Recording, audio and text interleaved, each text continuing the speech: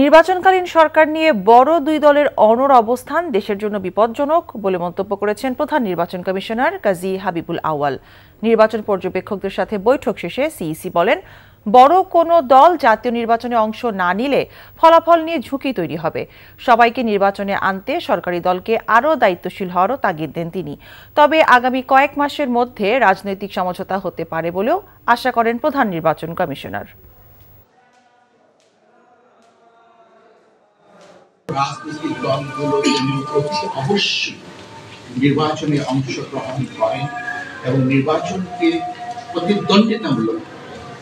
কারণ নির্বাচনে এবং নির্বাচনের যে ভোট কেন্দ্রগুলোতে যদি প্রতিদ্বন্দ্বিতা না হয়, তাহলে কিন্তু ওখানে যে প্রার্থিত বা প্রত্যাশিত যে ভারসাম্য, সেটা সৃষ্টি হবে না। আশা করি আগামী কয়েক মাসেই হয়তো আমরা দেখব একটা রাজনৈতিক সমঝোতা হয়েছে এবং সব দলগুলো নির্বাচনে অংশগ্রহণ করবেন।